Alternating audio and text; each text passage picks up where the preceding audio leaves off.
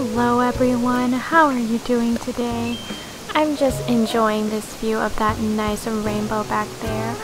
But today I'm gonna show you how I decorate my small park area. So if you would like to see how it turns out, just keep on watching this video. So I have this little area behind my Nook's Cranny here to work with.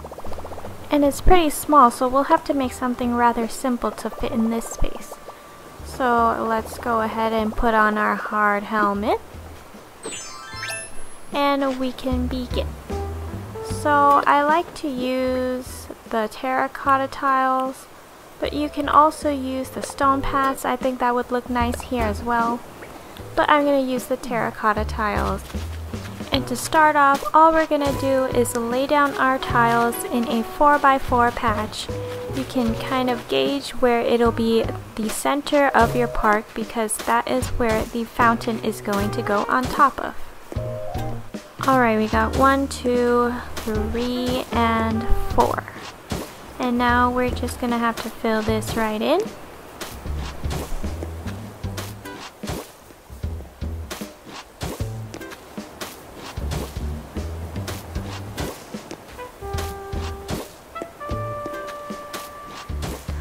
Alright, so now, oh, that always happens. Anyway, now that we have that down, we're to round off the corners here. I always like to round off all the corners. I think it looks a little more natural. And once we're done with that, we can place down our fountain as long as you make sure that everything is centered where you want it to be. And fountain, Perfect, looks good to me. So now what I'm to do is I'm to lay down some hedges all around the fountain. I originally wanted to make a park that you could walk through, but that just took way too much space and as you can see I do not have that much space here. Really the whole reason why I'm making this small park is because I wanted to act as a sort of placeholder in case there's any new buildings or shops that come in future updates in the game. I feel like if I spent a lot of time making a really elaborate park that you could walk through and it was super nice, I would feel really bad having to move it to make space for any new shops. And so for now, I'm just going to place this simple park.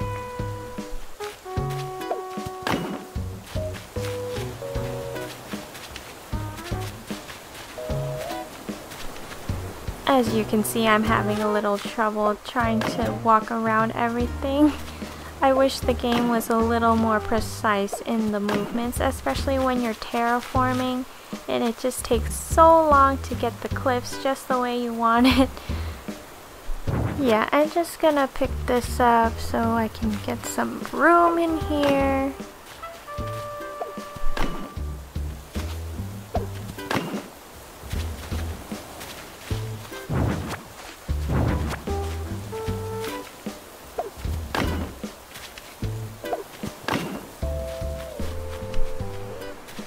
Last piece. Alright, so that was exactly 20 hedge pieces.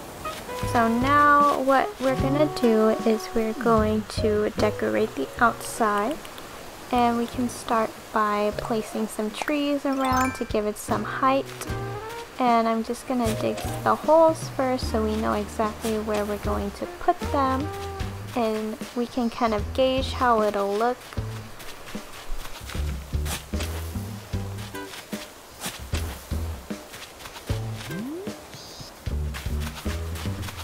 Alright, so just to make sure that they're symmetrical, I'm going to go ahead and place my bench in the middle here. Well, that's not the middle, but I'm going to move it to the middle and make sure that it looks good on both sides. It looks like it'll look even. Yeah. So the trees will look good there and then we can put some little shrubbery around and some lights to really pull it together. So let's go ahead and put the trees in. I'm going to put a I'm gonna start with an orange tree. Just to give it some color there. And here I'm gonna put a cherry tree because I want the reds to be spread out a little bit. So that means over here we're gonna put the peach tree. And last but not least the apple tree. Just so we can have the reds not clash with each other too much. And that looks good to me. So now I'm gonna go ahead and start putting down my bushes. I have this pink hydrangea bush. Looks more purple to me, but sure.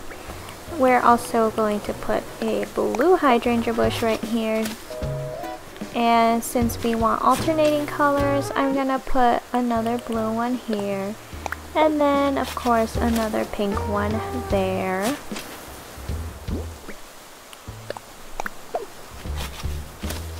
Alright, so let's take a look at what we've got here and see if we like it. I'm just gonna sit down and enjoy. That looks pretty good to me. So I'm gonna do the back as well. I know you can't really see it, but it just feels wrong to neglect it. So we're basically gonna do the exact same thing. I'm just gonna come down here, make sure I have the right colors. So next color we're going to put purple right here so that you can see the alternating colors again. And yeah. A blue right here. And you really can't see behind this tree here but I'm just gonna put it anyway just to make me happy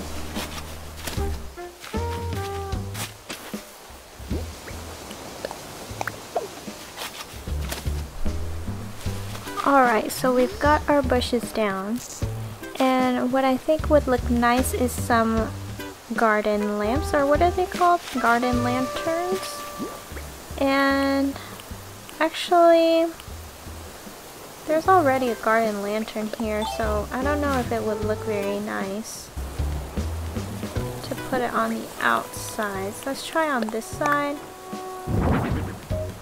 See, that would look okay, but if I put one over here... Yeah, that does not look too nice. So I think what I'm gonna do is actually switch spots with one of the bushes in here. I'm gonna put the lantern in here instead. Aw, of course. Well, I think I have another shovel. Yep. Okay. So as I was saying, I'm just going to switch the bushes with the lamp and hopefully that will look more even and nice. So pick this, okay, pick this up and put a lantern in it.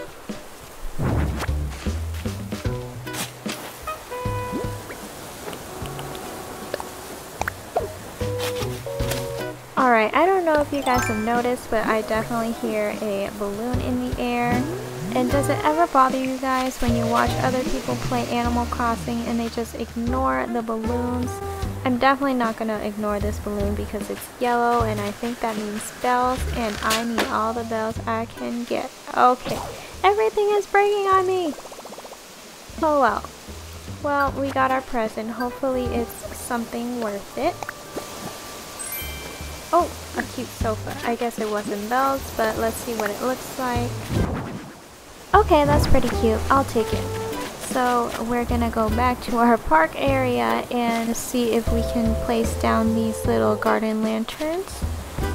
Just making sure everything looks symmetrical and there's not too many lanterns clumped up together. Push it in one on the other side. Push that in, and I think that looks much better than before. What do you think, Sherb? How do you like the park?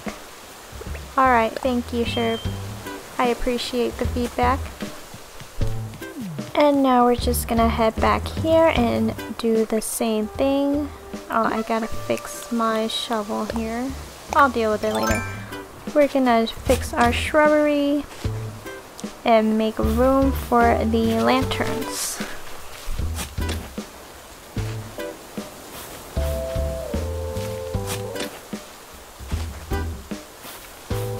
Alright, and just as I did in the front there with the park bench, I'm going to do the same thing and put my garden wagon in the middle so I can kind of gauge if I can get it symmetrical. And that looks good to me. You know, the garden wagon is actually kind of hard to make.